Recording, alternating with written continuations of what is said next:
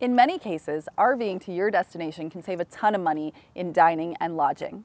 If you want to examine costs before your next trip, use Thor's handy new trip calculator.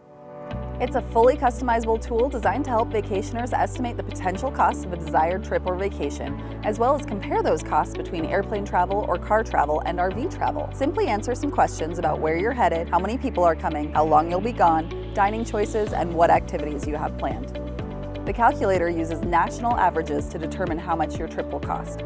If you know exact figures for travel, lodging, entertainment, or food, you can easily input that data to accurately reflect your unique trip. Pulling an RV uses more fuel than driving without hauling, but RVs can help save quite a bit of money on lodging.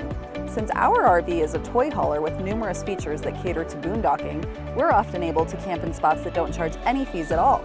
This also gives us lots of flexibility to stay extra nights if we discover more things we'd like to see.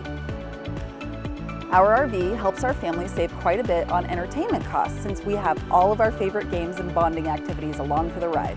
Easy access to nature also means that our kids have plenty of space to spread out and enjoy themselves. For us, food is where we save big in the RV, both in terms of expense and time. We have quite a few food sensitivities and allergies, so dining out can be a frustrating experience. With our favorite fresh ingredients on hand, we can have a stress-free meal ready to go quickly. This reserves more time for exploring, so we really maximize our trips.